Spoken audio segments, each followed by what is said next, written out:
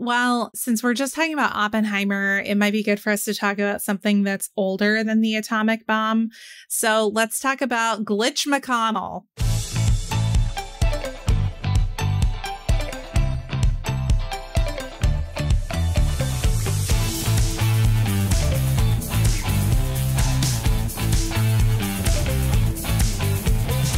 Welcome to Millennial, the home of pretend adulting and real talk. I'm Andrew. I'm Laura. And I'm Pamela. And for our penultimate episode of the year, we will look back at the year that was 2023. We came up with a pretty exhaustive list of items. We were particularly fascinated with things that happened at the beginning of the year because we forgot many of these items. we also, and this came up in our planning meeting, executive producer patrons can check it out. We once again struggled with understanding time, especially in this post COVID era because we were reviewing 2023 and I said, "Oh, Liz Truss, right? That happened this year." And we were all unsure. And then I looked it up and it actually happened in 2022. What? But the lettuce feels so much more recent. It does. Mm-hmm. The head of lettuce. So we lot we had like the prime minister kerfuffle and the queen's death both in 2022. That's wild. Like it feels like one of those should have been this year. Yeah. And then behind the scenes, and our patrons may have caught this once or twice, I was like, I just know I've been keeping a log of things happening in 2023. I would keep it in the Google Doc so that way we could just keep adding things as the year went on. It didn't have to work as hard at the end of the year. And I kept looking through our old Google Docs. I was like, where is that list? Where is that list? Couldn't find it. So then finally, I went to a doc from 2022, and that's where I was keeping a log. I never did it this year, but I could have sworn I was doing it in 2023. Well, Laura and I could have sworn you were doing it this year too. Yeah. We like, yeah. you just, surely you didn't check as thoroughly as you thought. You're terrible at research, Andrew. get, get, better at looking at our archives. No, but I, I was shook. This is the millennial Mandela effect right here. It's been happening quite no. a bit. It's uh, just all losing our minds, I guess. I don't know. Slowly but surely. Alzheimer's is seeping in. Oh no, I hope it's not that. Hey, I've got mm, I wonder if I should come out with this soon or not. Mm, my hair, I feel like has been thinning out, speaking of getting older. So I'm looking at hair regrowth options to thicken it up again. Oh, okay. Yeah. So not Alzheimer's, but um I feel like I'm going bald. Is your so. um is your maternal grandfather does he have good hair he doesn't have like a full head of hair his hair is definitely thin i've heard this too though pam it skips okay. a generation Ah, okay. Look, I just I go into Starbucks and I I look at myself with the top down lighting no, okay. and I could see straight into my scalp.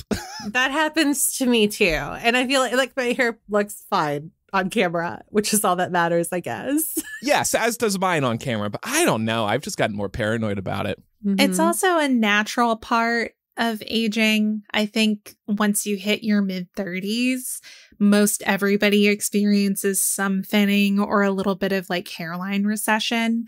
And Andrew, there are absolutely services out there you can sign up for. I know people who've done uh, Hims for hair loss. I signed up for that. They sell that at Target now. They've seen a lot of success with it. So great. Great. What I'm saying is, it doesn't have to be hard or intimidating. Thank you. Well, you know, coming out on the pod about it, it's like I'm taking some medicine to fix my. The, I did order the hmm. oral ones. I, I came out to Pat with this last week too. I'm like, Pat, I'm having a midlife crisis. He's like, oh, what now? I said, I'm I'm getting hair regrowth medication. I'm I'm ordering it, and he was actually very supportive. I mean, let us know if it works, because yeah, yeah, I mean, like Laura and I might at some point feel like we need to get on that shit. So there you go. I feel like, the, and the thing is too, uh, you know, you know, obviously this is like a, um, like a, like a very heavily documented problem for men, not so much for women, but like mm. for hmm. women, hair is such a big deal. So yeah, yes. yeah, and women experience hair loss too. You know, I think it's. Yes. It's important to Stress. normalize it. And I, you know, I really admire you, Andrew. Aw, you're. Thanks. I mean, Thank you. part of this show's experience is that people, a lot of people who listen to it, have grown up, up with us and are kind of in the same spot we all are right now. And it can just be reassuring to hear that other people are going through the same thing that you're going through Yeah. or have the same questions that you have about what's happening to your body. so Yeah. it can be helpful to hear stuff also, like that. I agree. worst case scenario, you look great with like a short crop haircut. So Thanks. True. if you need to go short, no big deal. You'll still look great.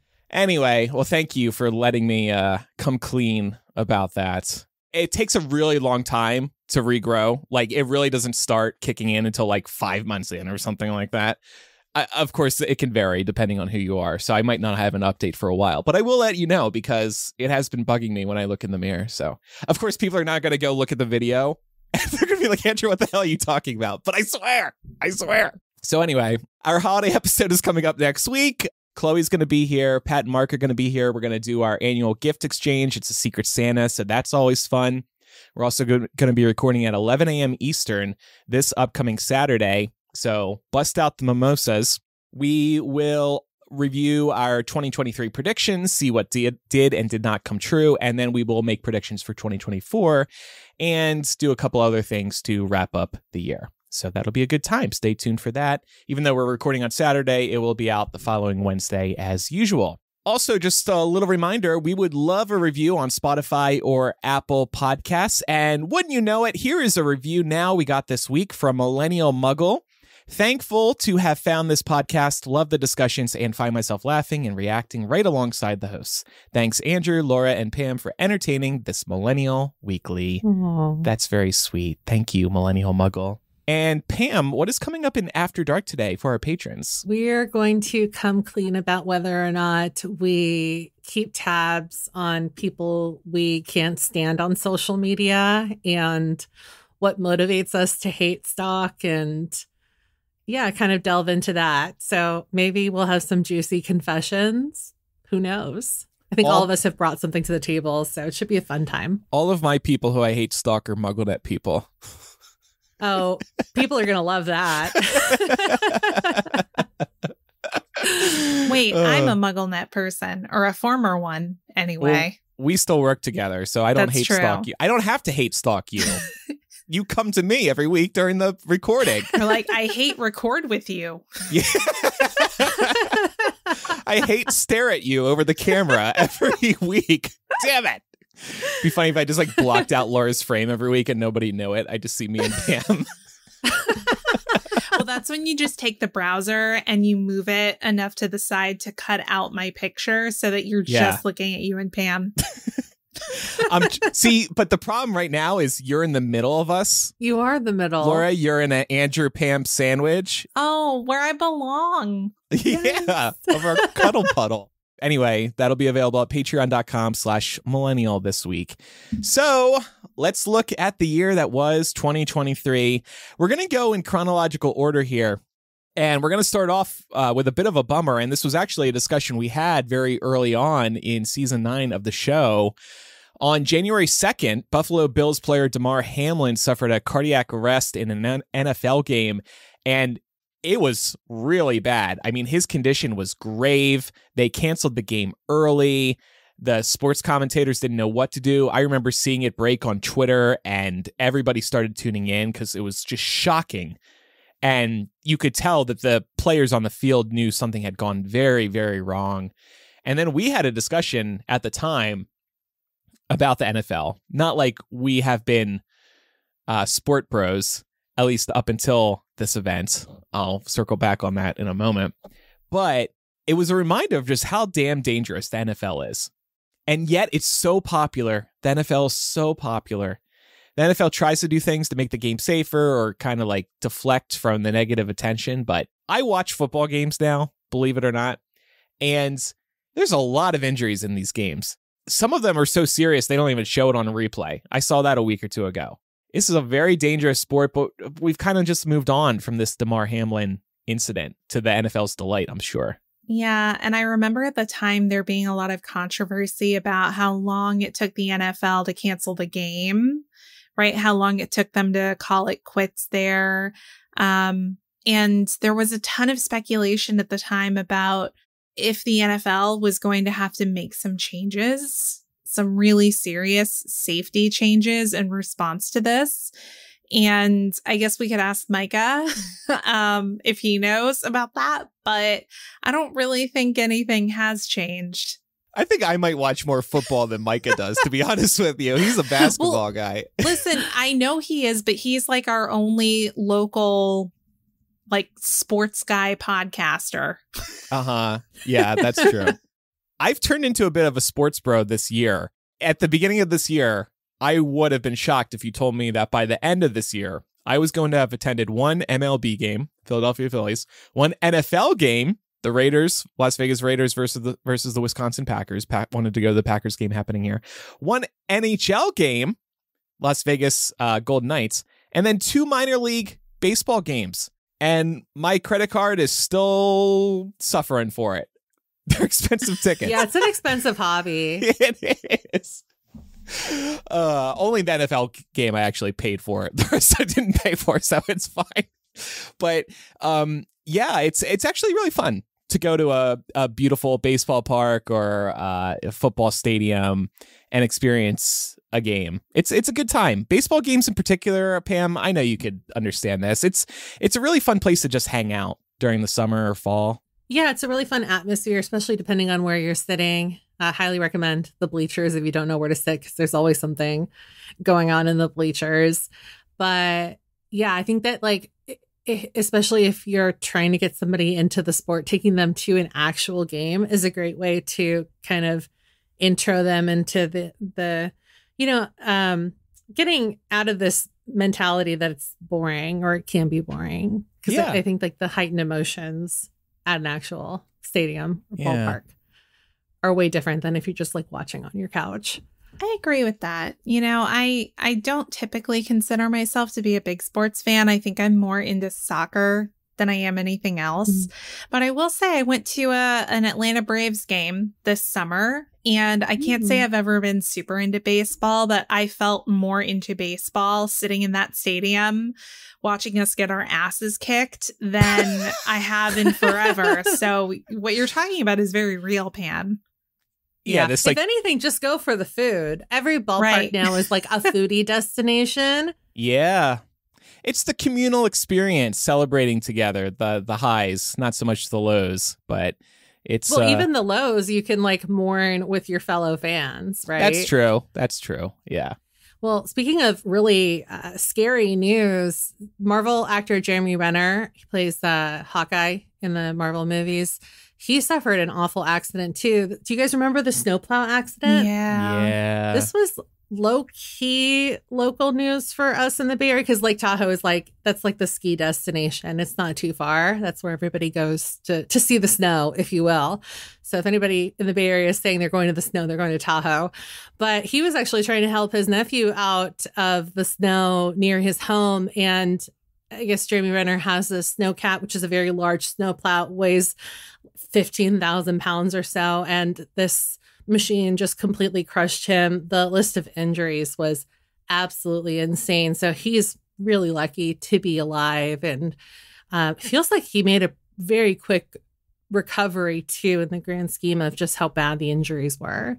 I saw a video of him a month or two ago now running up like a, a hill and he posted it Good on Instagram. Him. Yeah, he was really like proud of himself. It was like a major achievement being able to do that. So, yeah, he seems to be I don't know how much better, but significantly better compared to the condition he was in initially. I mean, for a snowplow to run over you, oh my god. Yeah. Yeah, terrifying. Anything else to say there? I feel like I was about to move us on very abruptly. No, it's okay. He's fine now, so it doesn't matter. He's fine now. He's all good. Well, you know who's not fine, at least, you know, probably not like mentally, is um, Kevin McCarthy. Uh, and when I say that, I mean like his mental health is probably suffering uh, as he continues to feel the burn of his own caucus uh, a few months after being ousted. Uh, Kevin McCarthy made history twice this year. Um, he became the first Speaker of the House to require 15 floor votes to actually get the speakership, during which he had to make a number of historic concessions to his own caucus, including making it easier for them to vote him out if they didn't like what he was doing. And just 10 months later, uh, they did just that. And it was the first time something like that had happened in over 100 years. So, congratulations, Kevin McCarthy. You're continuing to highlight the many cracks and fissures that exist in the foundation of American politics, particularly on your side of the aisle. Then, moving on from this, we have to talk about February 4th. This was one of the, I would say, first big global events of the year that captured everyone's attention. There were certainly lots of antics that came as a result of this. Who remembers the Chinese spy balloon? Ah, yes. That was, I got wrapped up in it. Like, I was terrified. I thought that was scary. what did really you think was. it was going to do? This balloon from China spying on us. What more do you need to know? I was I was like, freaked why out. Why are they spying? Are they yeah. scoping out uh like where to send the bomb? Like what's going on? It's just the fact that it was lurking over this country, slowly moving, slowly It was very watching. ominous. Yeah. Yeah. It was intelligence. It was data mining. It was intelligence gathering. mm-hmm. Well, they're not going to find much intelligence in this country. Am I right? they don't get enough of that on TikTok. this is funny. In the Discord, Sarah is saying, shit, I 100% forgot about the spy balloons. Me too, honestly. See, there you go. This is what we're trying to accomplish today. It was just like the first of many. That was also the crazy part, right? I think there were three total or maybe five or something yeah. like that. Yeah. And they found they found them like over South America. Um, I think they were finding them in did they find one in Europe? I'm trying to remember where all they found it. They found a couple in the US, they found one in Canada. Right. It was a crazy time. Didn't we end up learning that these balloons or these devices aren't uh it's not like this just started this year. This is just the first one to get caught, I think. Yeah, or, and, right. and be be publicly disclosed. Like this stuff is flying around us all the time, but America doesn't talk about it. Maybe they're going past undetected, but it's been happening. We just didn't know it. Yeah, and we don't know how long it's been happening either. So sleep tight. oh, God. Well, some some people that had their money in certain banks were not sleeping tight in the spring. I don't know if you guys remember back in March, a few banks actually ended up failing. And the one that I am most familiar with, honestly, is is First Republic, but very similar to what happened in the Silicon Valley Bank. They were catering to wealthy clients, and this was helping the deposits grow rapidly, which is really important if you're in banking. But ultimately, this is probably what shot both of these former banks in the foot because they were using these deposits to make larger loans. And this also included jumbo mortgages and we also know the interest rates skyrocketed this year. So it was just not a good time for all this to happen. And it was a recipe for disaster in a lot of ways. But the reason why these banks failed and we had kind of this mini banking crisis is because people started getting scared and started pulling their money out. And when that happens, banks really left with nothing. A lot of these bank accounts, too, also had deposits that were worth way more than the um, average federally insured sum of $250,000. So that also didn't help matters at all. It was a crazy time. Yes. I remember seeing like these videos of people lined up at the banks trying to pull out their money. Two of these were the biggest bank failures in US history. In some other news, this was one of the biggest stories of the year that we here at the panel uh, on the on the show definitely have not forgotten about the Trump indictments. We started with the one in New York in 2023. Then we had a federal indictment in Florida in June. That was the classified documents case. And then in August 2023, the uh, the federal indictment in DC. And then also in August, the indictment in Laura's home state of Georgia. Hey, y'all. And when these started coming out, the New York one, eh. But once we got that one in June out of Florida related to the classified documents, I was starting to feel convinced like he actually might not be able to run for president again. My expectations have been severely tempered at this point um, when it comes to him not just being able to run, but also to be able to take office again. How are you two feeling about the indictments? Are they going to make an impact on the 2024 election? I don't think so, unfortunately. I don't know that and we're going to get anything before the election. So it really depends on how the election goes. Um, if it does not go in his favor, I think that he's in a lot of trouble. Yeah. If it does, then I have a lot of questions about what future elections look like in this country, Yeah. to be honest. It'll also be interesting to see how voters feel about these indictments. Will they have forgotten about them by fall 2024? Well, I'm, I'm sure Biden's going to be reminding everybody that he's a four time indicted ex president. This has to come up at the debates at least. But If he I even think that- participates. Yeah, that- he doesn't That's what I have was just going to say that he didn't show up to a bunch of them. So He hasn't showed up to these Republican ones. Not that he Yeah. needs to, in fairness, but the Joe Biden one, I mean, considering he lost to Joe Biden, I really think he it's in his best interest to show up and debate him. You know Trump will want to. Well, as people let him, I guess is the question. Yeah. I would just say that it it probably doesn't feel like it's a long time until the election, but in the world of politics, a year is a really, really long time and a lot can happen between now and then. So I would say don't get completely discouraged, but it's certainly worth being concerned. I definitely feel concerned. Also, I really wanted to mention we got the mugshot of Donald Trump in August. I was actually home with my family when there were murmurs about the mugshot being imminent. And um, my family was glued to the television waiting for this mugshot to be released. I was like, you guys, get a life. Like, they're sitting there watching MSNBC. You know how it's freaking Democrat wank all the time on, on MSNBC. They're hyping everybody up. I did not watch. I'm above this 24 hour news stuff these days. I just wish his hair didn't look so gold in the photo. I wish it looked like white, like some of the other shitty mugshots. You know, my favorite thing about that mugshot is you can tell this motherfucker practiced his facial expression in front of the mirror for like hours the night before to make sure that he got the right look of stoicism and tough guy. Honestly, he did a really good job. I got to give it to him. He's very perfect. squinty. I'll give him that. It's a don't fuck with me face. It's it's great. His base loved it. No, seriously. His base loved it. I mean, come on. My uncle made that his profile picture. Oh Lord. My Republican uncle. yeah, okay. I that makes sense.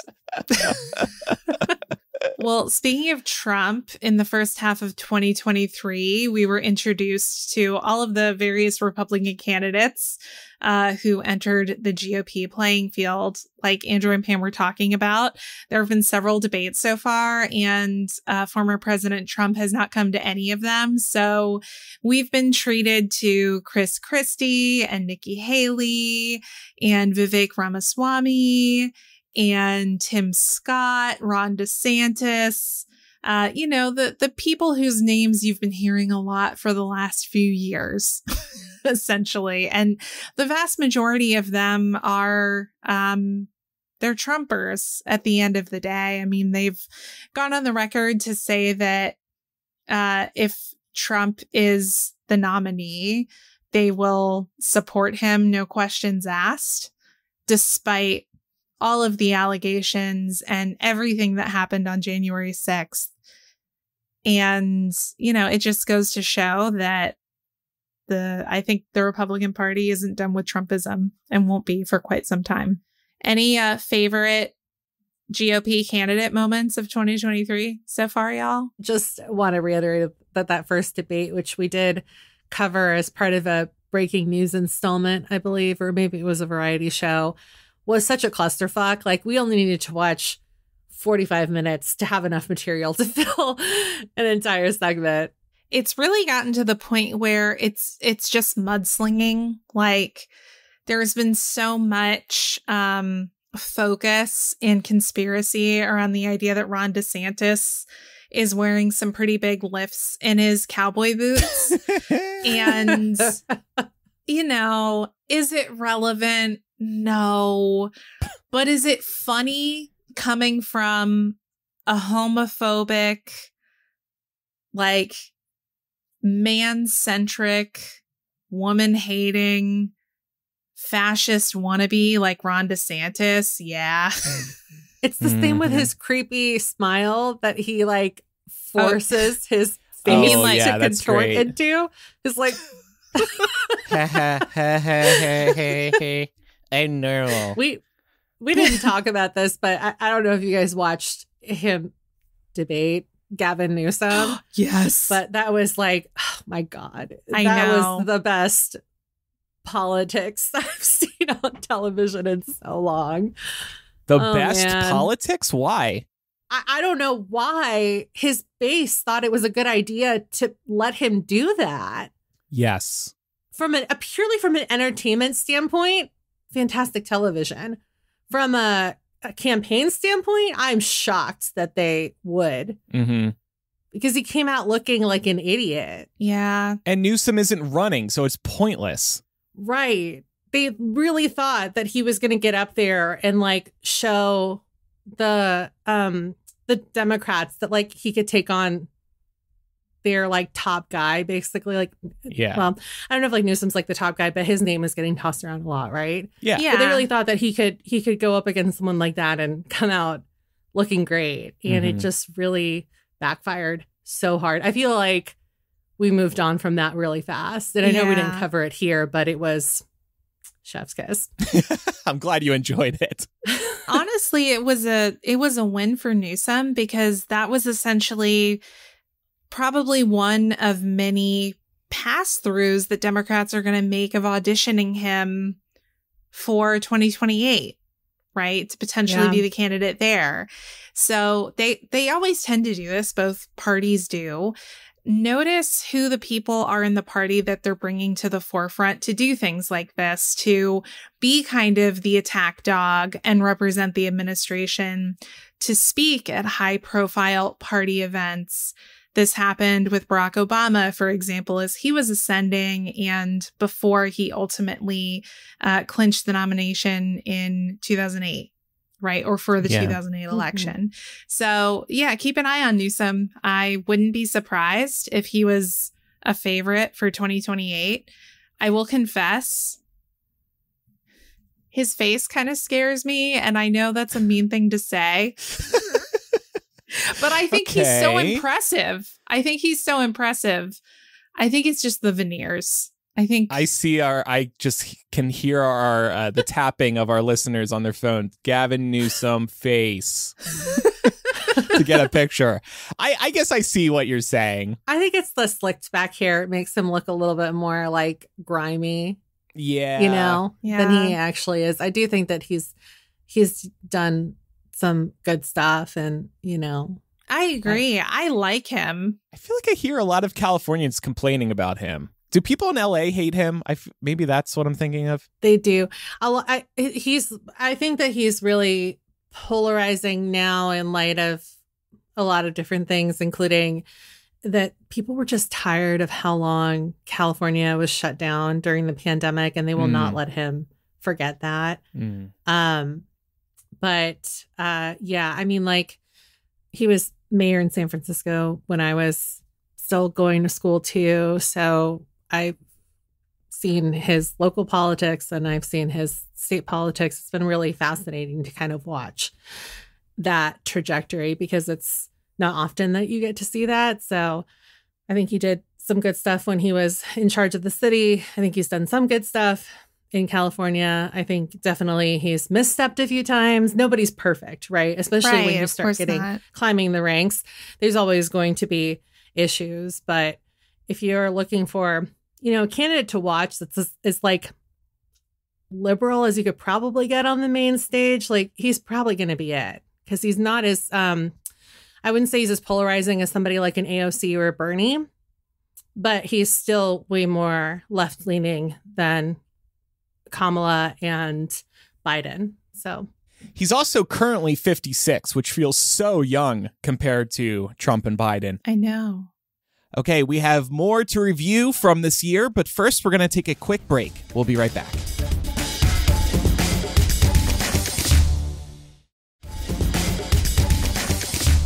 All right, well, moving on, we've touched on cable news a couple times today, actually. On April 24th, this was shocking in the cable news world. Don Lemon of CNN and Tucker Carlson of Fox News were both fired same exact day. Don had made misogynistic comments, and Tucker was fired as a result of the Dominion lawsuit settlement. But the fact that they coincidentally were fired on the same day was mind blowing. Obviously, Fox parting ways with Tucker was a big deal because behind Hannity, he's the the biggest personality on Fox. He's tried to have his own like Twitter show now. Um, and then Don Lemon, obviously a major presence on CNN. He had a primetime show. He tried to do a morning show on CNN for a while. He was always one of the biggest messes during uh, CNN's New Year's Eve bashes. um, but yeah, he made some really stupid comments that I think we spoke about at the time like he was saying like a woman in their 40s is old or something like that. Yeah he was talking about nikki haley and saying that she was beyond her prime. Yeah. Yeah and and i forgot about that. and don yeah. lemon's female co-host to his face on air live were like uh, you want to clarify that? And don just kept doubling down. It was ridiculous yeah, it's not the first time he has stepped in it. Um, do you remember when he was interviewing one of Bill Cosby's alleged victims? Mm-mm. And he was like asking her if basically like why didn't you bite his dick was essentially the question. And it, this was on live cable news.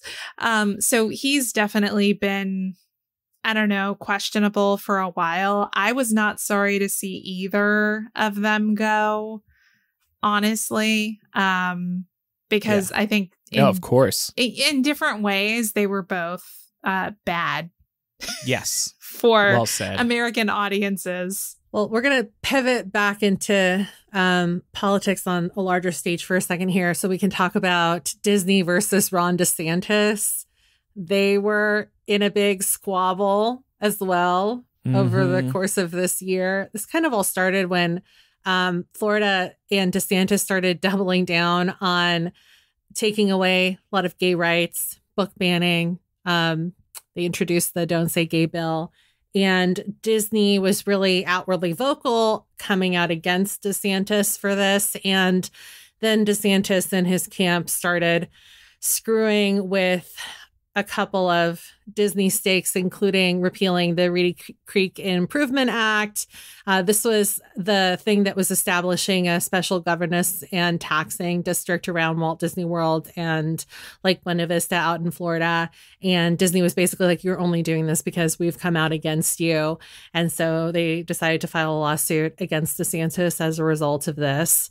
So um, I believe that we covered this on the show because Laura, you have. Uh, you have some uh, historical ties, like family ties to this area, right? Yeah. I mean, I was born in Orlando and I still have a lot of family in Central Florida. And one of the biggest things about this story that stuck out to me was how much this hurts taxpayers at the end of the day.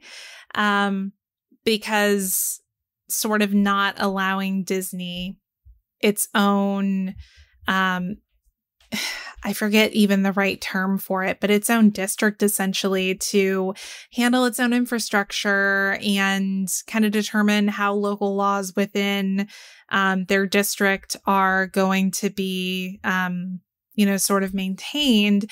You then pass all of those obligations onto Florida taxpayers. So at the end of the day, it's, you know, giving taxpayers in Florida a higher tax bill to foot um, rather than truly making a statement to Disney because Disney has Disney has a big enough set of balls that they can swing them anywhere. They don't need to be in Florida. And there was a lot of back and forth commentary between Disney and DeSantis about this exact fact that well, to that to that Go point, ahead. they were going to move some of their people to Florida from California. I'm forgetting what teams, and they backed out of that. And it was actually really good news. There was no reason for these people from California to be moving to Florida uh, other than for tax purposes. It would have been cheaper for Disney to have them in Florida. But yeah, they they were showing uh, uh DeSantis what was up. What what what happens when you fuck with the mouse? I think that's what we called the episode, right? I think we had AI Mickey Mouse, or I did the voice too. We Oh, sent like a threatening message to Ron DeSantis, I Mhm. believe, something like that. Did did we actually send that to his office? Because if we Oh, didn't, no. we should. I don't think so. Uh, well, looking to New York just a few days after the infamous Disney and Ron DeSantis fight coming to a head, uh, New York banned gas stoves in new residential constructions, which does not take effect until 2026. But some people lost their minds over this and decided to use it as the latest example of government overreach and the fact that socialism is coming for you and your family and your way of life. and this is the harbinger of doom. the government is saying no more gas stoves in New York. yeah. The reality is there's a ton of science out there that shows gas stoves are actually bad for the environment. They're also bad for your health. It's not great if you have one of these, especially an older one in your home, which is why New York is starting with banning gas stoves in new construction. Obviously, with old construction, there's going to be an element of grandfathering that will probably update over time to get people on, you know, updated models of things and hopefully over to electric. But there was this perception that as of, you know, the start of 2024, everyone was going to have to go out and get an electric stove and that you would be illegal if you had a gas stove. And that's not true.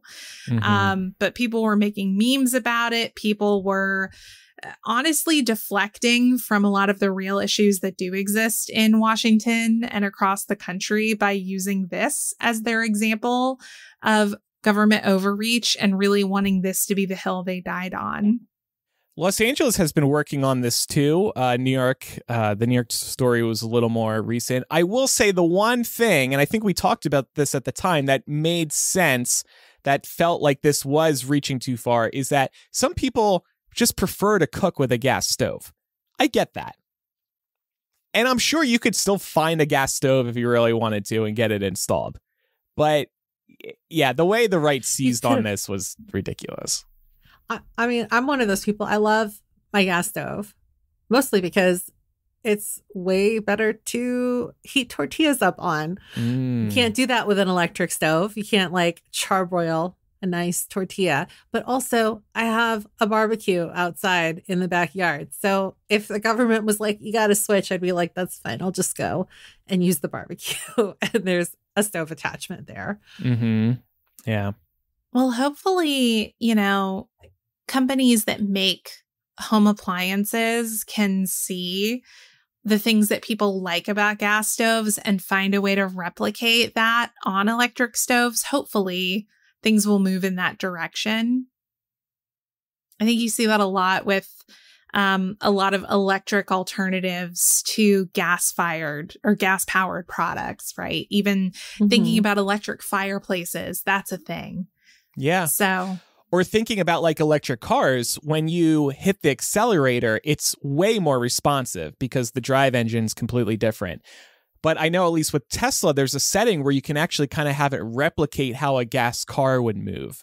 And because otherwise the electric cars tend to be a little jumpier when you're pressing on the pedal. So yeah, there's solutions to kind of replicate that old school feeling or experience or style, whatever that that people are looking for.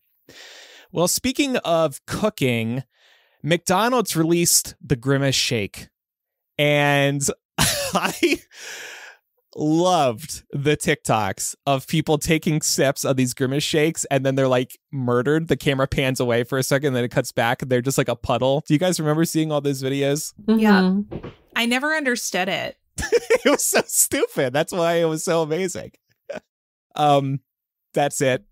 The Grimace Shake. It was it was genius. I thought it was genius because everybody was like, "What is in a grimace shake? Is this the guts of grimace? Why is it called a grimace shake?" I think it was tied to his birthday. Uh, that was so amazing. Yeah, it wasn't even like a fancy flavor, was it? It was just like purple dye. Tasted like grimace. Ew. yeah, berry flavored That's why people milkshake. were dying. Oh, berry flavor. That actually sounds nice. Celebrated his 52nd birthday. I mean, look, I mean, McDonald's got so much free publicity out of that. Everybody taking these Yeah. horror videos with their grimace shakes. They couldn't have come up with a better advertising campaign than that. no, it was fantastic. Well, speaking of things that we could never forget in 2023, we had the Titan submersible. This Whew. just kind of hooked all of us for a very long weekend. So, for anyone who doesn't remember, this was the OceanGate submersible. Uh, it was created by somebody that had way too much money. And the idea was that people that also had way too much money could pay to go down in this thing and look at the wreckage of the Titanic. And this just went wrong in every single way it could. And after a few days, we found out that the submersible imploded and because because it wasn't made properly, right? That, Right. That's the big part of the story Right. here. And everyone on board perished. We also, this was actually one of my favorite guests that we had on this year. We had Mackenzie on. She's a marine uh, biologist, conservationist. And it was really fascinating to learn about submersibles from somebody who has experience in that stuff. So, highly recommend looping back around to check out that episode if you missed it for whatever reason. Yeah, she was great. Just going through this discussion today, I think this is the story of the year. It captivated the internet. There was a mystery element for several days. It was a commentary on billionaires and how they waste their money. Um, it was a fascinating look at this industry, this deep sea exploration industry, and how they run unchecked. Evidently, we all remember the revelation that this thing was operated with like an Xbox controller Yeah. There wasn't just the mystery element there was a time component too. The clock was ticking. They only had so much oxygen on board. So if the ship if this vessel was still intact they had to find these people quick or they were going to run out of oxygen. I remember thinking as was the whole world like what's going on in that vessel right now? And this had the makings of a movie like just The an ol- incredible I story bet you the only reason it wasn't greenlit is because of the strikes. Oh yeah otherwise we would have seen something by now some lifetime movie rushed into yeah, production they're gonna do it. Somebody's somebody already has the rights now that the strikes are over. Um, but it, it was so funny looking back kind of on all the speculation, all the theories, all the conspiracy theories that were afoot. Um and this really did have the world captivated for like four days. And then we all found out, well, it actually imploded Almost right away. when it the day that it went down and the navy knew about it and just didn't tell us yeah. Well, okay, yeah. The Navy heard a boom, but didn't know what it was. They suspected, but yeah, they Right. they had their suspicions. It's just amazing. And then people were also like, um, can we talk about how the Navy has the whole damn sea mic'd up? Evidently, they can hear the whole damn ocean. Yeah. Well, and there Laura, was- to your point, it was just like the details coming out of this were like I feel like every day there was a tiny little detail. Like, didn't they all have a bag lunch that they brought on board too? And so we were all just talking about how like even like people with a lot of money, I guess, can only be served a brown bag lunch aboard a submersible and And there's like a Man, makeshift so- toilet on board. So much to unpack here. yeah, Yeah. yeah and there was also um there were reports of that tapping sound do you remember Oh yeah. Right. that somebody was allegedly in the submersible like tapping in morse code Morse code. and they definitely weren't uh it's one of those like if a submersible implodes in the middle of the north atlantic doesn't make a sound no until the navy tells you 4 days later that it made a sound Actually, it did.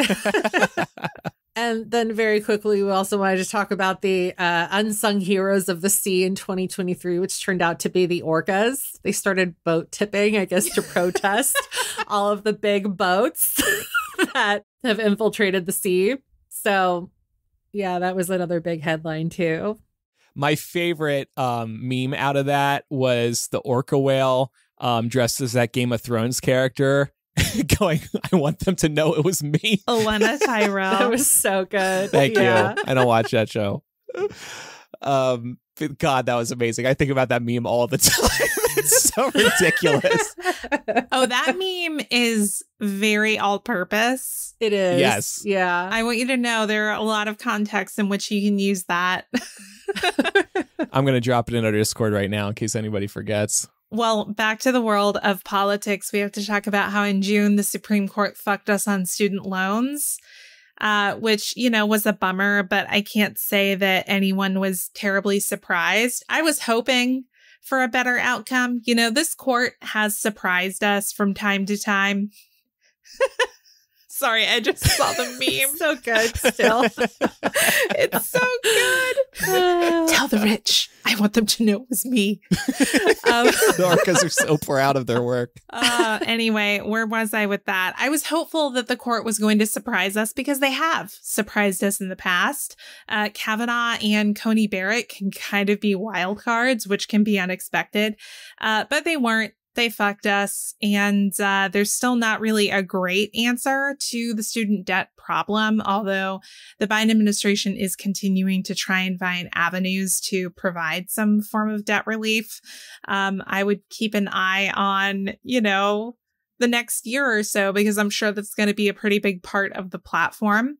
But I will say one way in which uh, this court did surprise us was around voting rights um, because they actually shot down Alabama's congressional map, which was found to have heavily gerrymandered uh, their districts to the point where the vast majority of their Black population was only represented by one district. And the court ultimately found that to be in violation of the Voting Rights Act and unconstitutional. So even the court knows sometimes some of these issues are so obvious that they will definitely be on the wrong side of history if they uh, fall on the opposite side of this argument. So glad to see that. Keeping us on our toes. July 5th was a very big day for the social media world. Threads launched the Twitter ripoff from Facebook following all of the drama that's ensued in the Elon Musk era. I was very excited about Threads. I continue to be very optimistic about Threads. I don't post too often there, but if I'm going to post, I'm thinking about posting on Threads first. Threads has been adding a lot of features over the last few months. They really do seem serious about making this a very good product and a real Twitter competitor. I'm never calling it X, by the way. I will al- always call it Twitter. Um, they just added hashtags, by the way, and they're doing it differently than other social media networks, including Facebook and Instagram. Um, you're you, you can like you hit the hashtag button to start a hashtag, but when it appears in a post, you actually don't see the hashtag in front of it. And a hashtag can actually have um, a space in between two words. You know, like oh. if you tried to do that on Twitter, you wouldn't be able to. So they're mm. calling them just topics instead of hashtags. And I follow like tech bloggers and I see a lot of like the tech tags now. So like the algorithm seems to show you more stuff that you seem to like. I find the algorithm pretty good in general and it seems to get even better with this new tag feature or topics feature. So are you two using threads at all or what? No. Mm. Not with much regularity, but I try and pop in and post something every once in a while. They have been heavily promoting it in Facebook and Instagram. You see a carousel showing threads that you might be interested in. Instagram and Facebook are obviously huge, so they're really trying to um, make this thing blow up. So that's actually one reason why I continue to use threads. I see them promoting it in Facebook and Instagram, where, of course, hundreds of millions of people are. And if they're trying to get more people over to threads, then I want to be there posting. I want my threads to appear in people's Instagram and um, Facebook feeds as well. So that's why I've been mm. posting from time to time. And in entertainment news, this summer was the year of Barbenheimer. Did anybody here, except for me, actually watch both back to to back or No. in close succession. Okay, Barbie I'm only. only crazy one. and I still haven't seen Oppenheimer. it's good. I, the honestly the um the sound mixing was really interesting the way that they chose to kind of utilize sound in that movie. But um yeah, this was like the um movie theater destination for the summer. It was kind of nice to see movie theaters packed again because I, I go fairly regularly to the movies, but it's very rare that you see a a theater packed and it was really cool to go out and see both of these movies and see them in an audience setting. And it was so cool seeing people so excited for Barbie, dressed up for Barbie. Like we went opening Yeah. weekend, the hype was real. It felt like a I Harry Potter, a. Twilight. I, I don't I uh, realize I didn't own any pink before we went to see Oh. Barbie, and I I felt out of place because the whole theater looked like it was just like doused in pink. It was great. Well, uh, since we're just talking about Oppenheimer, it might be good for us to talk about something that's older than the atomic bomb. So let's talk about Glitch McConnell. Mister, Yeah. do you think you'll be running again for reelection? Silent answer, response. I am still convinced that he was shitting his pants. that is my thought to this day because you see the man blank out and just get that 100 yard stare. He's looking through the walls but and behind the press in front of him and nothing can break that gaze. It's because he's shitting his depends. Laura knows what it's like to shit your depends and the, I do. the I'm an face you expert. make. Yeah. yeah, and it happened a month later too. He he Yep. like blacked out a second time in August, and it felt unreal to be witnessing this uh, fall in real time. Like this is televised. This is history. This is this is how he's going to be remembered. Staying too long. Yep. And he's not the only one. I mean, Dianne Feinstein was another example of this.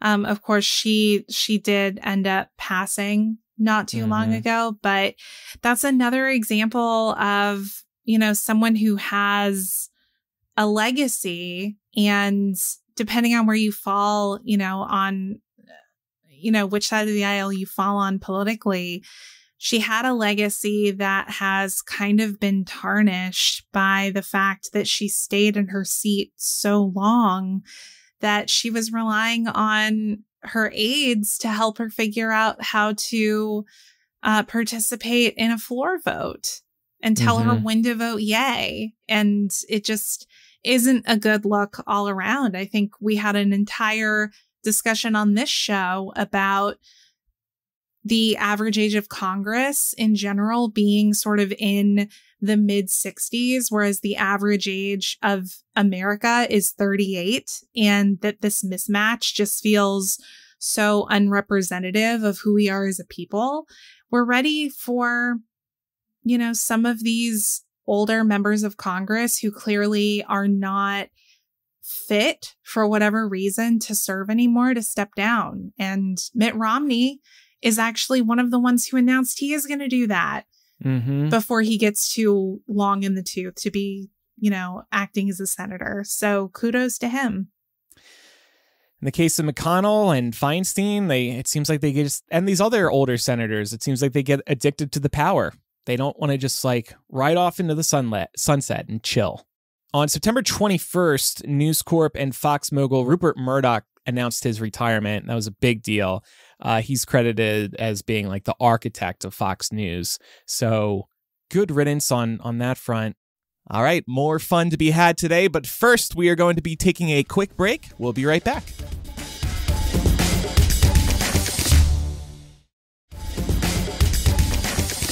September 29th, the Sphere opens right here in Las Vegas. It's an incredible venue. I saw you two there um, back in September or October. I went to like the second or third show.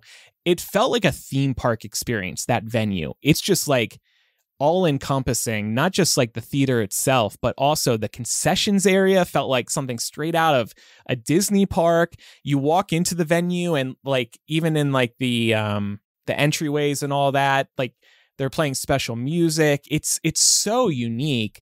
I actually learned while we were planning this discussion that Laura, your mom is going to be visiting the Sphere. Yep. She is going to be going to see um, the love of your life, Bono, or the second love of your life. I, yeah, I think Bruce comes first, right? Yes. Um, so yeah, my mom is going. And Andrew says to me, Well, what? Your mom was going to go to the sphere and you, you weren't going to tell me? You didn't think that I might want to go to the sphere with your mom? and I was like, I don't know. I'll ask her. Date night. Well, what we agreed is that so your mom's going with her girlies. And if one of them happens to back out and, and there's like a spare ticket, I'll jump in on that party. There you go. Well, and see, I was sitting here being like, Andrew, you want to go with my mom and her friends to the sphere? And then I was like, oh, uh, who am I kidding? Andrew went to um, Downton Abbey in theaters. He was probably the youngest person in that theater. Yeah. Oh yeah, we were. I was I was in Tahoe and I spent a night seeing the Downton Abbey movie at their local movie theater, which was actually really cute. It wasn't a chain. And then the commercials running before the movie are like, if you need a new pair of socks, come over to the sock shop here in Lake Tahoe. and the commercial ran like five times because they have nothing to advertise there. I was playfully saying, why didn't your mom invite me to this? But um, I hope your mom has a good time here. I don't think it was so playful. I think you were a little bit serious, but it's okay because I already told her. you know, you know I do everything for the show, and I know our listeners would love if I took your mom out on uh, the Las Vegas Strip, got her nice and drunk. We were Crazy night out with Mama T. crazy Yeah. night out. It'd be wild. hey, she listen, don't eh, don't overcommit because she's fun and she will know. take you up on it. No, I'm excited for her. That'll be great. So we're gonna cover a bit more entertainment news for you all. Of course, NSYNC made their big comeback this year as well. This is more recent comeback. news. Big is a uh, an understatement, depending on who you ask. But I feel like the the teasing that led up to their first single being released in, you know, um, almost twenty years or so was it kind of captivated all millennials because this was a big band for us. So Better Place is streaming now. It was pretty much just all marketing for Trolls 3, which we've now kind of come to terms with. But um, yeah, we we talked about this on the show as well. Yeah. So I feel like by the time Trolls 3 actually hit theaters, everybody forgot that NSYNC had this new song because they released it like two months before the movie came out. Um, mhm. yeah, you know, it, it was fun to see them hyping up some sort of reunion and then getting this song. I guess it's better than nothing, but I I didn't find the song very replayable, so I listened once or twice and that was it.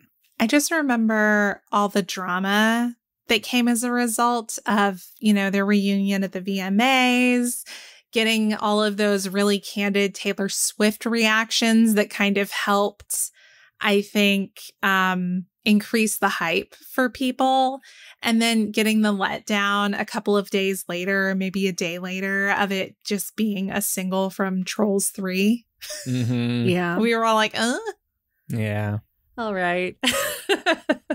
Better than nothing, I guess. NSYNC's back. All right. well, we can't talk about NSYNC without talking about Britney Spears, equally as big when we were growing up. She published her much anticipated memoir. This came out at the end of October. I think I'm the only one that actually read it on this panel. Oops. It's Yeah. okay. Um, a lot of the big headlines made their way onto the internet, so there really was no need to to tune into this unless you were curious about the full context. That's the thing. And actually, same thing with Spare, the Prince Harry book, which we'll mention in a little Yeah. bit. Uh, the New York Times, these other websites, they read the book in advance and then tell you all the biggest revelations. And then I'm sort of just like, oh, why do I need to read this myself? But I'm happy she finally got her story out there. Yeah, And it's always the most salacious details, right? Like Britney revealing that Justin maybe isn't uh, the most well endowed, or Prince Harry talking about having a frostbite penis. Yeah. Um, that that's always the stuff that ends up Noticing a making pattern headlines. here. That's what sells books. The dick revelations, the dick stories. she also said, by the way, on Instagram, she's going to release a volume two. Did you see that? Like next year? no, I guess we'll see if no, she I actually missed does. that. But yeah, she's. Is she Barack Obama? What? So, moving on to a, a larger pop culture story, which we did not cover on this show, the Beatles also released what they're calling their the final Beatles song. So this came out uh, early November. It's called Now and Then, and the reason this came about is so fascinating. This might be like one of the better uses of AI I think we've seen this year because this song has existed for a while. It was a demo that John Lennon recorded before he passed. And they could actually never use it because of the way that it was recorded. It was recorded on a cassette tape. Cassette tapes, they, you know, uh, experience wear and tear. The also the audio was not that great they couldn't really figure out how to balance John's voice with the piano that he was playing on. And the only reason that they were finally able to extract this audio and separate John's voice from the piano on the demo is because of AI technology that was specifically developed for Peter Jackson's documentary Get Back. This premiered in 2021 on Disney Plus, and it chronicled the making of the Beatles' Let It Be album. So they were able to use this um, AI and technology to bring this song to life, which is just so incredible. And they had been workshopping this in the 90s. They tried to work on this track before. So they also had uh, George Harrison on here as well because they had saved the um, the material from that. I think that Paul ended up re-recording his guitar parts, but as an homage to George. Yeah. So yeah, I, I, think Laura and I both watched the there's a 12 minute, minute documentary that you can now watch on YouTube about the making of this track. And I like I had chills. It like moved me to tears because Aww. it's it is so um it, it's just so overwhelming to hear like such a, a huge voice, you know. I know. Like that. And the song is very melancholy. Is that how you would describe it, Pam? I believe so, yeah. Yeah. So there, there's that layer to it too. And I think what really struck me about this is that in an era where we hear so much about deceased artists coming back for hologram tours or new albums, this is actually one of the first cases where it feels like this was done tastefully.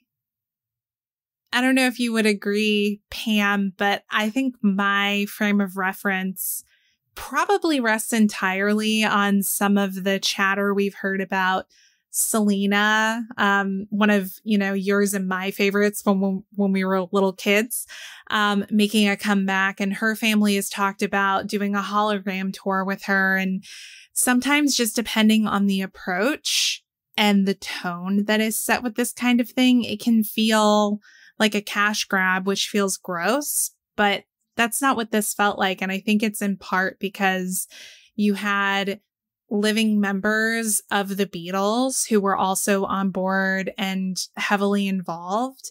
And it, it kind of felt like a, a full circle moment for them in a way where they, they got to be together again. And there was something very wholesome about that that I think we don't usually get in these types of I don't know how you would describe it. Reimagining. Well, I, I think what's unique about this, and you're kind of getting at this, all four Beatles worked on this song. It yes. started with John, and then the other three fleshed it out in the 90s, couldn't get it done because of the issue that Pam described with the piano and the vocals.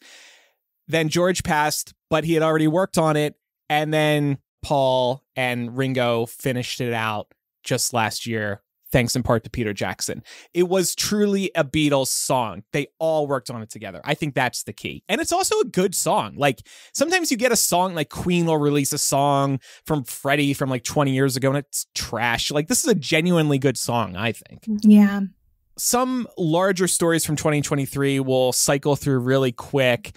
First of all, just mentioned this technology AI, AI, AI. It was one of the biggest stories of the year. ChatGPT got a lot of attention around the world and on this show, but there was a lot of other demonstrations of AI that were very impressive.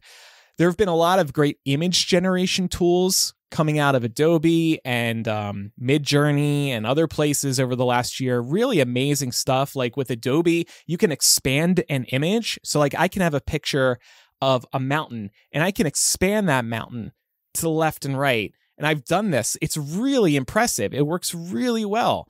So, there's just a lot of AI is moving so fast, and it'll be fascinating to see where we are this time next year. Also, a big theme of this year the Federal Reserve rose interest rates in America. Now it does seem like they are finally slowing down the number of rate hikes, which people are relieved to see after so many rate hikes over the last couple of years. Also, have to mention inflation. It did sort of improve by the end of the year. There have been some good inflation reports in recent months, and we've touched on them from time to time. Things are still too expensive, but when we talk inflation, we're talking about the rate at which it's moving upward, the speed, and it has slowed down. Those price increases have slowed down. So that's good. Let's look at summer and fall of 2023. Ah, what a year it was for love. Taylor and Travis. And then we had the Eras tour. Pam, was this your story of the year?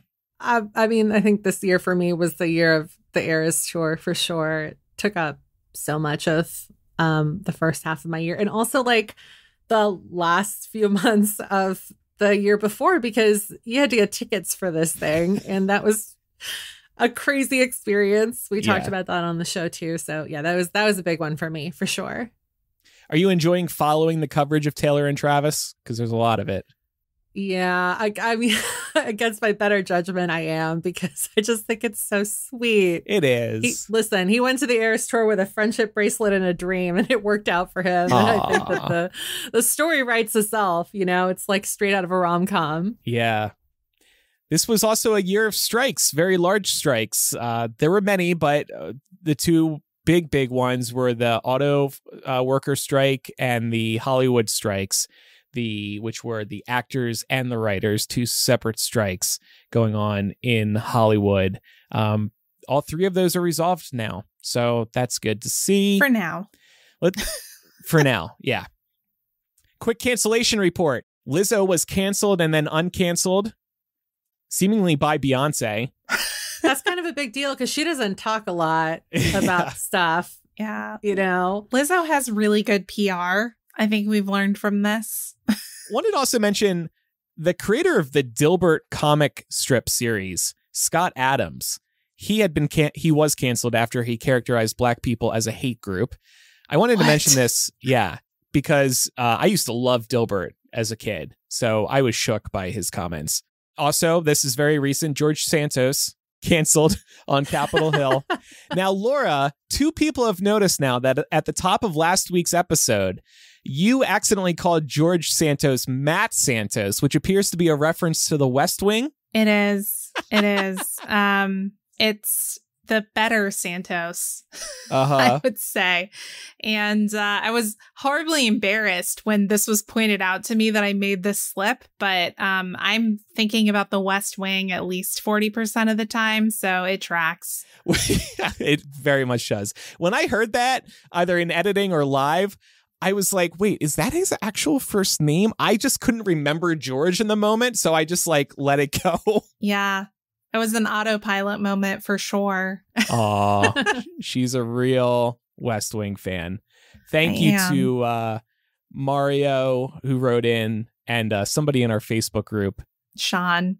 Sean, thank you. yeah. They're keeping an eye on us. We appreciate it. Also, speaking of congressional fuckheads, we didn't mention this guy on the show, but Senator Bob Menendez of New Jersey, indicted on federal corruption charges. He's still in office. However, he has refused to leave.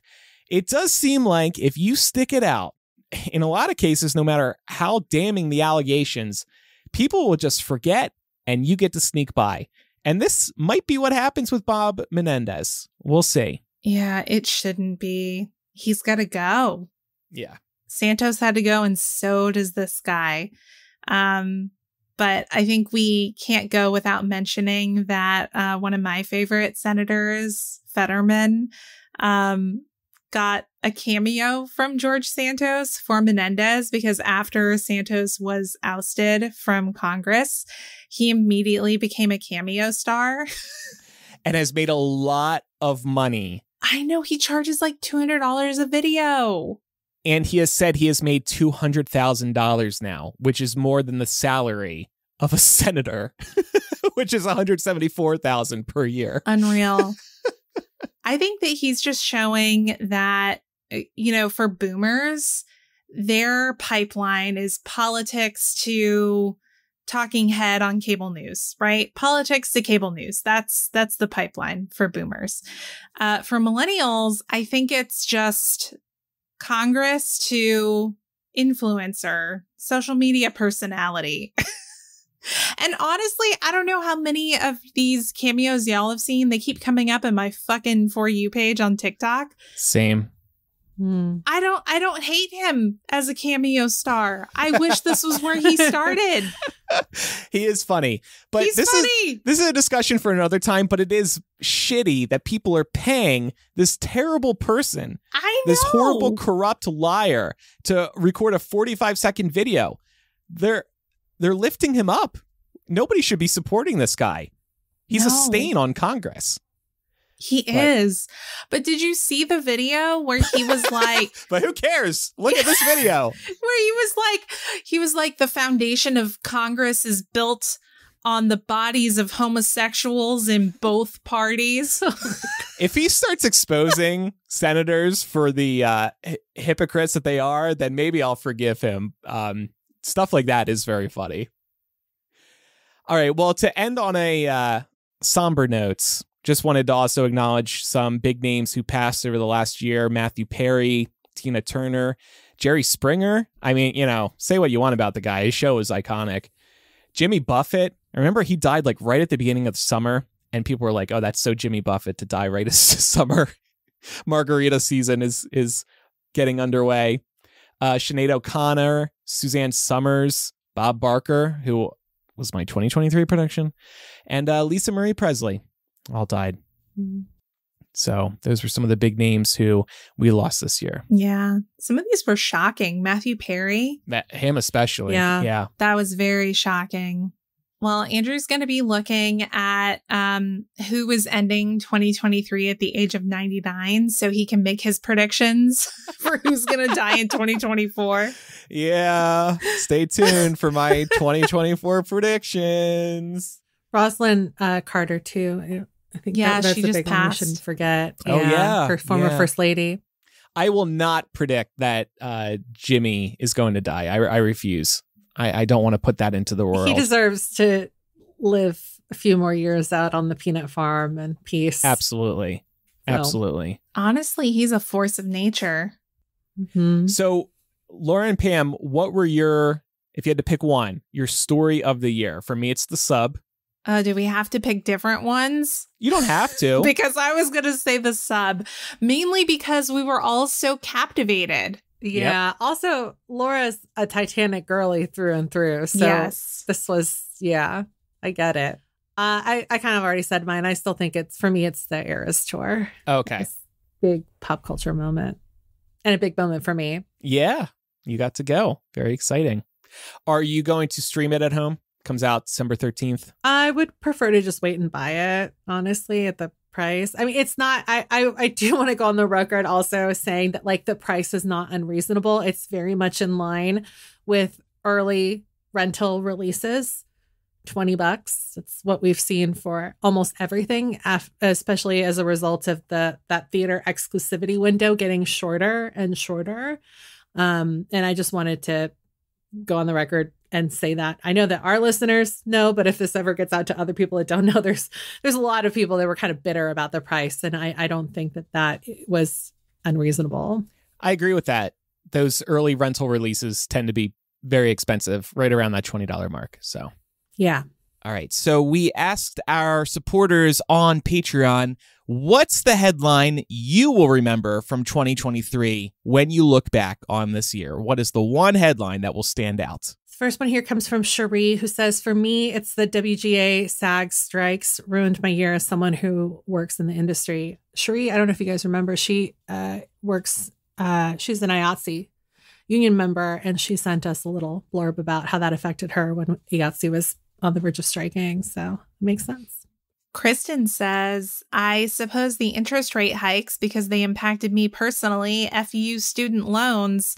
But as far as a popular talking point, it's the sub. Yep. the Titan submersible. Amber is in agreement with Pam.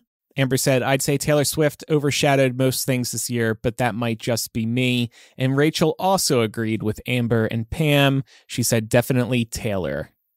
Shelby says, For me, the submersible, I had my first baby in late May and I was in a newborn haze when this happened. And it was the first slash only piece of outside news that broke into my bubble. Embarrassing that I wasn't keeping up with any other news, but I was doing my best. Uh, I mean, I think you can cut yourself some slack. You Yeah, just I had think your so first too. baby. Mm-hmm. Destiny also says, definitely the sub incident. I'm a huge Titanic fanatic, so this to me is just tragic. yep. I agree, but also the memes. The memes were great. The memes are why we're all going to hell. and they're coming back around too. I I, don't know if you've seen this, Laura. It's like I'm gonna get coal for Christmas because I reposted all those Titan Oh, submersible man. memes. I do feel bad for a couple people on the submersible, but uh, Just the not kid. the rich people. Right, right. There was like an explorer on there too, but he had been down there so many times. Ugh, whatever. We don't need to get back into this. James said definitely Henry Kissinger uh, finally biting the dust. Hallelujah. Yes. Fair. And then James also said, oh, wait, also Prince Harry's memoir, especially about his Todger. Skull emoji, skull emoji. Yeah, the, the dick stuff. I was Todger slang for dick. I mean, I'm guessing it's got to be, right? It is. Kind of, it, It is. it gives, it gives dick. Sorry, Jasper just opened the, my bedroom door. I don't know how he did it. now he's just like in the room. Are you freaked That out? Scared the crap out of me. Aw. Kind of because I thought I closed. I don't know how he came in. He wants to talk about Prince Harry's Todger. Let him speak. I Let him so. speak. Ashley said this year, Def the Titan submersible, it took the whole internet by storm for better or worse. We got some great memes out of a horrific tragedy. Uh, and then Sarah says, probably Damar Hamlin since we were watching it live. My boyfriend is a big Bengals fan, also the submarine and Santos. so, um, three different stories that we've covered here today. Definitely Mhm. big impact for 2023. And finally, another Sarah, Sarah S, said maybe it's just because it's my industry, but the collapse of the Silicon Valley Bank. Yeah. So those were the submissions we got from patrons. Thanks everybody for contributing. We always appreciate hearing what you have to say. And thanks everybody for supporting us on Patreon if you do that. We really, really appreciate it. We couldn't do the show without you. Don't forget also, if you want to support us a different way, maybe not via Patreon, we have the Overstock store. MuggleMillennial.etsy.com is where you can buy millennial adulting planners and 2020 t shirts. They've got the year 2020 on fire. They're really cool. By the way, a quick clarification about the adulting planners these are not year specific planners. It's 104 blank weeks, and you can write the week in if you would like. Um, the reason I bring this up, somebody had actually asked us if um, it's for specific years, and it's not. So don't feel like, oh, I can't purchase this anymore because it's only good for 2024 or 2023. And what's also great about the weeks being blank is that you could skip a week if you want. Like you don't have to use it every week. Maybe you forget or you're taking a vacation, whatever. Um, you can just use this in any 104 weeks that you choose. It covers two years of your life. It's evergreen. It's mugglemillennial.etsy.com. We already told you all what's coming up in After Dark, so patrons can stay tuned for that. After Dark is part of Mega Millennial, which is the main show, ad free, with After Dark attached at the end. Apple Podcast paid subscribers also get access to Mega Millennial. If you're a Spotify user, you can uh, click the Patreon banner within the show page on Spotify and pledge, and you can also receive our audio benefits right within the Spotify app. That is another big new uh, bit of news for 2023. Thank you to Spotify and Patreon. Um, all right, well, it's time now for recommendations. Laura, what do you have for us this week? I have a game recommendation, of course, uh, called Lethal Company. The premise of this, it's uh, essentially cosmic horror existentialism with some space monsters thrown in. You're essentially um, part of a crew that is collecting scrap off of various moons and alien territories. And you do so at great personal risk to yourself and not very much reward from the aforementioned company. It's really, really fun. It's a great game to play with friends online. So if you're looking for a game that you can play with your friends, if maybe they're not you know, in town for the holidays or if you don't live close to each other, this is a really fun and easy way to spend time together. It's very simple. You're going to collect scrap and trying to survive. And so there are fun some fun jump scares, but it leaves a lot of opportunity to just hang out and kind of shoot the shit. So Okay. check it out. For my skincare girlies, I want to recommend CeraVe's Acne Foaming Cream Cleanser. It's got 4% benzoyl peroxide acne treatment within it. I use it twice a day. It's super helpful for managing my face day to day. Uh, there's no fragrance on this. I've been only using it for like a year and a half. I should have been using it for way longer, but I got this recommendation. And of course, people love CeraVe products. I think, Pam, you've mentioned one once or twice at least. So this is what I use for my day-to-day skincare and keeping the acne under control. So would recommend that. Yeah, great, great for sensitive skin too. Like if you have um, psoriasis, eczema, any kind of like sensitive skin stuff. Um, I've never used this one though, so I might look into Oh, it. okay. I, but I don't have acne, so maybe not. But I mean, it sounds great. You get the hy- you have the hyaluronic acid in there, the niacinamide. Do you feel like your skin texture is better too? Like, are your pores like a little bit smaller? I think I think so. Yeah, it's been a while since I haven't used this, but yes, I have definitely noticed a difference, especially just with pimples popping up throughout the week. I, Mhm. I've managed to keep them under control. I think largely in part to this. Nice. Mm-hmm. I wanted to recommend Renaissance, a film by Beyonce, the other big tour that happened this year. I did go see this at the movies. The crowd was not as large as it was for the Eras tour. And I think that was mostly a marketing flub by Beyonce's team because, as we talked about on the show, they really didn't announce, do a big announcement saying that you could buy tickets now. And I think that that's why a lot of people didn't realize that this was coming out when it was.